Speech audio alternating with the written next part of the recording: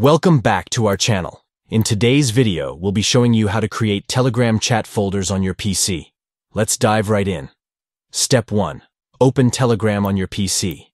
Make sure you're logged in to your account. Step 2. Click on the hamburger menu located in the upper left corner of the screen. Step 3. Select Settings from the menu that appears. Step 4.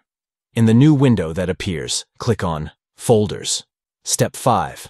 Click on Create New Folder. Step 6. Name your folder and optionally select an icon by hovering your cursor over the folder icon. Step 7. Press the Add Chats button to add the conversations you want to place in this folder. Step 8. Make your selection and press Save at the bottom. Step 9. If you want to exclude any chats, you'll be given the option again. Select Create when your settings are complete. Step 10.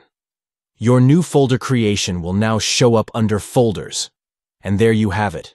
You've successfully created Telegram chat folders on your PC. Organize your conversations and stay more organized than ever before.